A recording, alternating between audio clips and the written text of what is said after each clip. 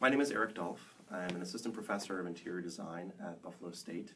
The principles of universal design uh, were um, were released in were published in 1997 uh, by a group of researchers from all over the country, from North Carolina State, from the University of Buffalo, um, and uh, they they include basically a benchmark for designers as to what they should be keeping in mind as they're designing these products and environments for what sorts of things they could do with their products and with their spaces, with their environments, in order to make these spaces uh, useful for the most number of people.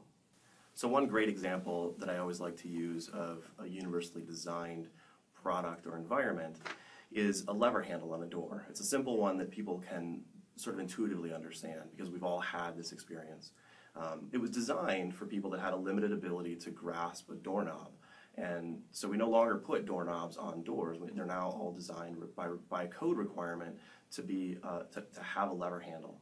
Um, but what we found was that it was also of benefit to people that had other things going on. So if at the same time you're carrying a cup of coffee or you're carrying a box or you need to use your foot to open the door, you couldn't have done that with an, with a doorknob, right? So so you have this uh, this product that is designed in such a way that it is of maximum benefit to all types of users, not just for the you know for the for those that that, that may have a limited ability to, to actually grasp that device.